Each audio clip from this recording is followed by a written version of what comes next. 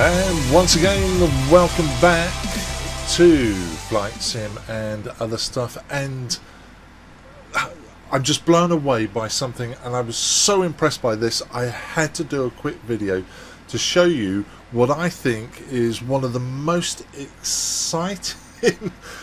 it's sad, isn't it? But one of the most exciting additions to Microsoft Flight Sim that I've seen for ages. Now, as you know, I use Stream Deck, fantastic interface for controlling controlling the flight simulator and the computer and everything else. Uh, they're not cheap though. They're not cheap. And my aim when flying is to get away from using the mouse and keyboard. Uh, and a lot of the time I'm in VR, but we'll talk about that in a second. So I don't want to use a mouse and keyboard. I want some hardware controllers. And I used to have a home cockpit but those are expensive. They take up lots of space, and yeah, I mean they're expensive, and there's a lot of work involved. So a while back, I found this device, and I've done some videos, and I've spoken about this on the channel before.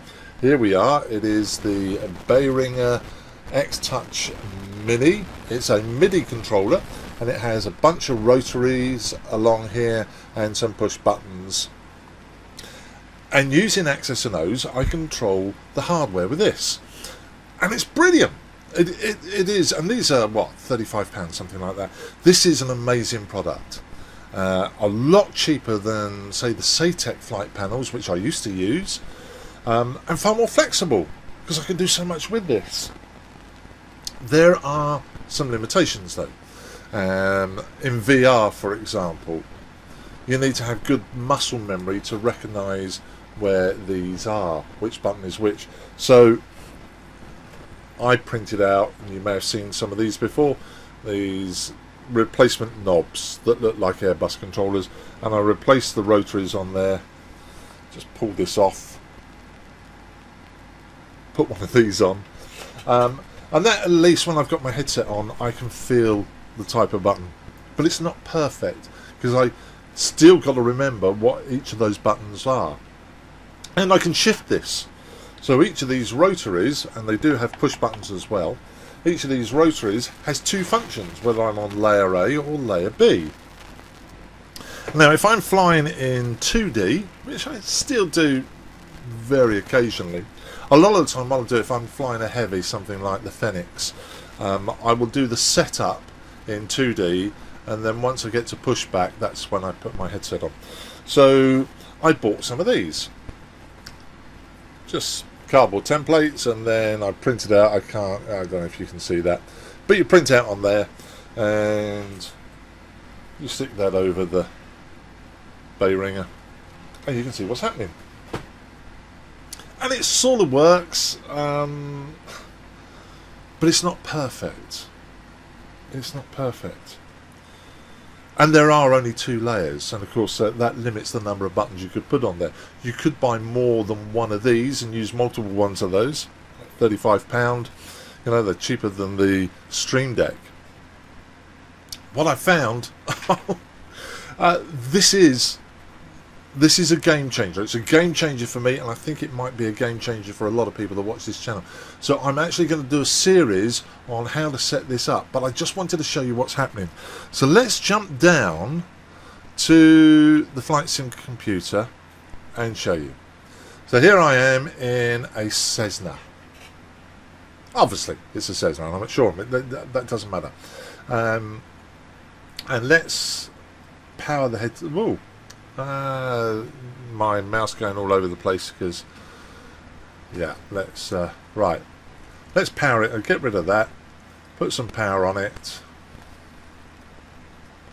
And then if I start twisting the knobs on the X-Touch as you see at the moment I'm changing the barometer so we can see that the altitude gauge is changing and then I can tune the radios with one of these buttons. There we go. That's the tenths. That's the major ones. And if I push it we swap the frequencies. But I still have to remember wouldn't it be great if I could see what's happening? This is what this does. I, I mean this is brilliant. So we now have this add-on panel. And when I click that, ah, gee, there it is. There is my FIP. And guess what? Because this is an in-game panel, this works in VR. And I can see if I can turn any of these knobs, you see it lights up.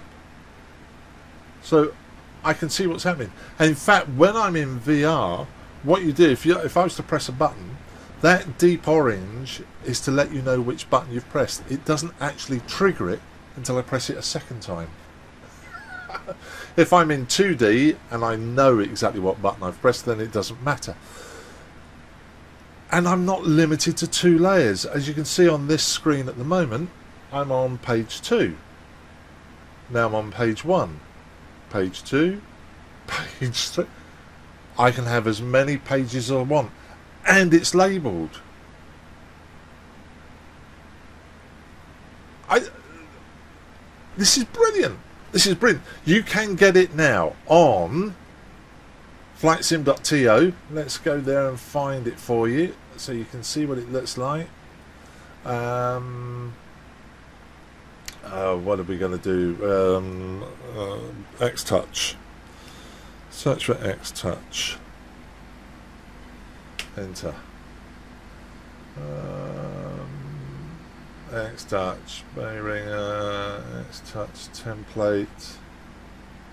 Mini gauge use for Axis and Ohs. There it is from Funatic. Close. There it is. You download it. It is. Oh, how can I put this? It might seem a little bit daunting because there's some scripting you have to put behind it to make it work with an Axis and Ohs.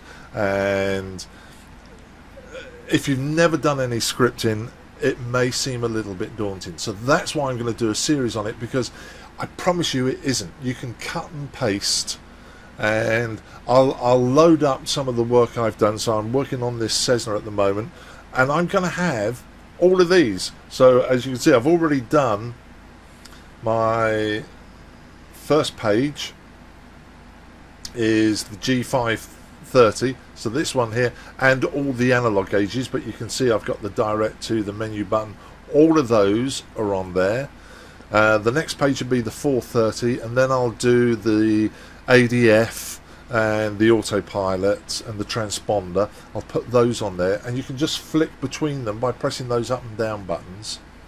Flick through the profiles. I can see which one it is.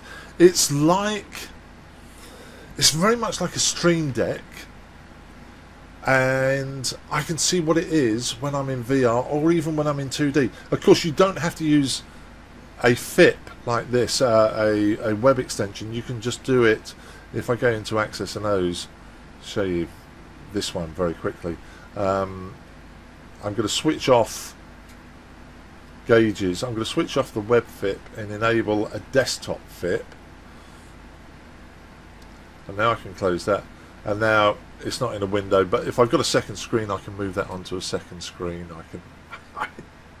this this guy is brilliant, and it just goes to show how powerful Axis and Ohs is, and when you combine it with something like the Behringer, wow, it, I don't have to use the mouse anymore. I can get prompts of what I'm doing.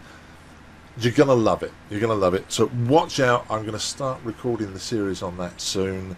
Uh, I'll be back on Sunday, uh, usual time, 10 o'clock uh, GMT, not GMT, 10 o'clock British summer time to do the Q and A's. Uh, but I just, this is amazing. I love this. I think it's brilliant. Um, I've had a conversation with the guy that uh, the guy that developed this, and yeah, this is this is big. This is big. And for all of those on a budget that want to do hardware and get away from the mouse and keyboard, go out, get yourself a Behringer X-Touch Mini, follow the series, and let's have some fun flying. See you Sunday. Until we do see one another again, as usual, enjoy your flying, take care, stay safe, and a very goodbye to you. Bye.